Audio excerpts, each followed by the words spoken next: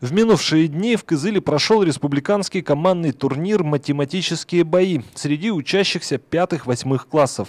Математический бой – это не только соревнование команд и умение представлять свои обоснования ключевых моментов решения математических задач, но и умение проверять чужие решения и выдвигать контраргументы. Целью республиканского турнира является повышение уровня подготовки учащихся пятых-восьмых классов по математике, развитие интереса к предмету, воспитание воспитание командного стиля работы школьников на интеллектуальных соревнованиях. На турнире встретились 70 команд из всех районов республики, в том числе городов Кызыл и Агдавурак. Также свою команду направило Кызыльское президентское кадетское училище, которые в прошлом году показали отличный уровень подготовки.